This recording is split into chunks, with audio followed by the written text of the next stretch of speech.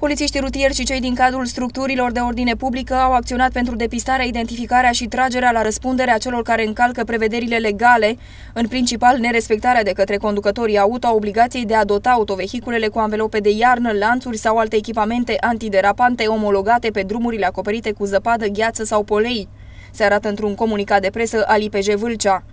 Ca atare, polițiștii rutieri au amendat numai puțin de 80 de șoferi vâlceni, valoarea totală a contravențiilor ridicându-se la suma de 20.565 de lei. Agenții de circulație au reținut și trei permise de conducere. Tot cu această ocazie, conducătorii auto au fost informați cu privire la avertizarea de cod galben, fiindu-le recomandat să-și amâne plecările din localitate în limita posibilităților. Prin aceste acțiuni s-a urmărit conștientizarea opiniei publice asupra dinamicii și consecințelor accidentelor rutiere. Se mai arată în comunicatul de presă.